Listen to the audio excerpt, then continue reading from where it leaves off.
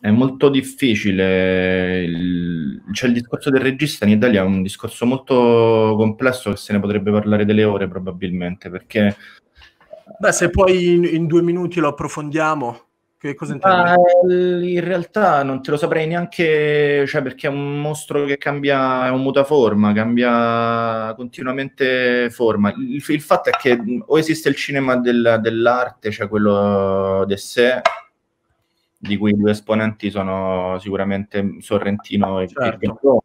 certo. Oppure, oppure esiste, esiste, il cinema commerciale, che è quello fatto dai faccioni in cartellonistica, quindi di conseguenza capisci da te che il, il, il regista o, o, è autore e ah, il prestigio che aveva, che aveva, cioè ancora tiriamo fuori tipo, ah perché Fellini, 100 anni della morte di Fellini, a grande maestro, cose così, cioè o c'è il maestro mm-hmm. o c'è uh, il, lo shooter che gira il, il film del, del Checco Zalone di turno oppure del, del cabarettista che esce fuori da, da Zelig, cioè non esiste, non esiste il, lo, lo showrunner cioè al di là di Sollima per dirti, Sollima è un esempio che lo è diventato più, sì esatto, è, è comunque l'esempio più, più, cioè lui è stato capace di trasformare in franchising qualsiasi cosa che ha toccato, no? è una sorta di, di remida degli shooter, no? gira romanzo criminale, diventa un brand, gira Gomorra,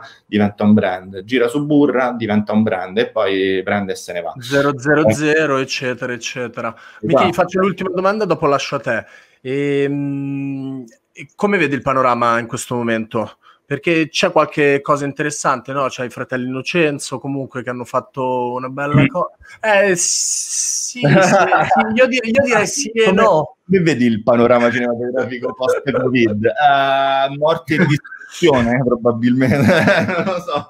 Cioè, adesso saranno, saranno cavoli amari comunque sia per l'industria, perché già, se già in Italia producevano pochi film Adesso prima di, re- di ri- rientrare dei film che non sono usciti, cioè perché molte, molti film dovevano uscire per le sale e hanno perso il treno, cioè comunque sia sono stati eh, venduti a due soldi su delle piattaforme tipo certo. su Cili, su, su Now TV e su altre piattaforme per cercare di, di, di, di rientrare un minimo della spesa fatta, cioè non oso immaginare la mole di lavoro che molte persone hanno buttato nel cesso perché eh, sono stati due anni appresso un film, a cercare di mettere insieme i fondi, eh, l'hanno girato, stava per uscire, fine, bah, chiusi tutti dentro casa, il film non è uscito in sala e te lo, te lo tiri in faccia. Quelli sono investimenti di, di, di milioni di, di, euro e quindi automaticamente adesso saranno tutti eh, più accorti e tutti più, più tira- ancora più tirati di quanto è normalmente. I fratelli di Innocenzo sono due persone uh, molto abili, li abbiamo incontrati spesso e volentieri con Luigi anche in molte circostanze.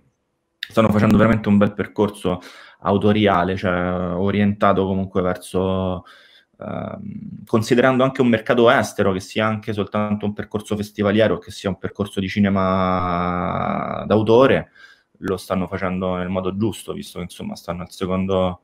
Uh, Assolutamente Secondo... Eh, ragazzi, ve lo consiglio, Fratelli di Innocenzo, La Terra dell'Abbastanza, andatevelo a vedere. Miki, passo la palla a te.